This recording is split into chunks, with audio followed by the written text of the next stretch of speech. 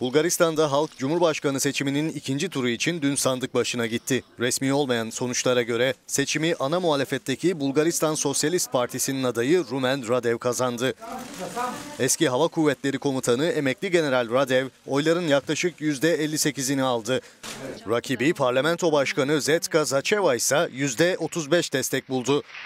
Ülkenin 5. Cumhurbaşkanı olan Radev ilk sonuçları değerlendirdiği konuşmasında bugün Bulgaristan'da demokrasi, statüko ve korkuyu yendi. Hükümetin kıyamet senaryosuna rağmen değişimden yana oy kullandınız dedi. Bu arada Başbakan Boyko Borisov yeni Cumhurbaşkanı ile çalışamayacaklarını belirterek istifa edeceğini açıkladı. Basın toplantısında konuşan Borisov bundan sonra muhalefette olacaklarını fakat erken seçime giderek güven kazanıp tekrar iktidarı hedefleyeceklerini belirtti. Borisov seçimler öncesinde iktidar partisinin adayı Zaceva'nın kazanamaması halinde hükümetinin istifasını sunacağını ilan etmişti.